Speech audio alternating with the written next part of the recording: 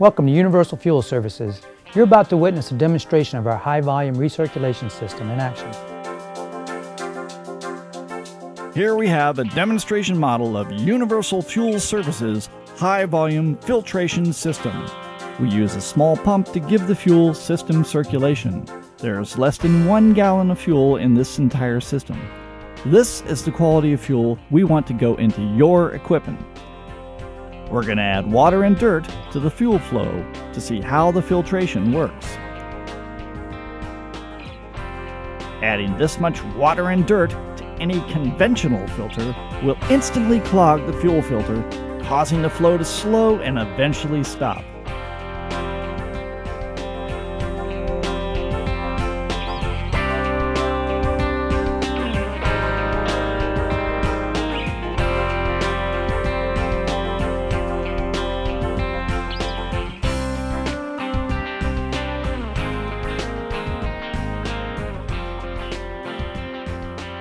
As you can see, the water and contaminated fuel is coming down the fuel line and into the filtration system where it's being cleaned.